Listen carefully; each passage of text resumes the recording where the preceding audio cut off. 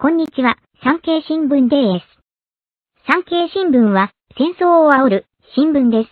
今日は国民の皆さんが正しい認識でいるのか確かめに来ました。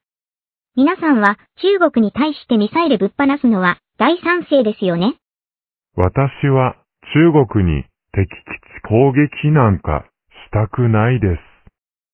中国はお隣さん仲良くするしかないですよ。こんにちは、産経新聞です。産経新聞は中国は友好国だとは思っていません。中国がミサイル撃ってきたら困っちゃいますよ。私は中国が先に撃ってくるなんてないと思います。中国は日本に敵意を持っていませんし、日本と戦争する利益がないですから。こんにちは、産経新聞です。中国の話はやめにしましょう。世界の国が GDP の2%を軍事費にしています。日本も軍事費を2%に増やすべきだと思いますよね。わしは現在の1%で十分と思っとるぞ。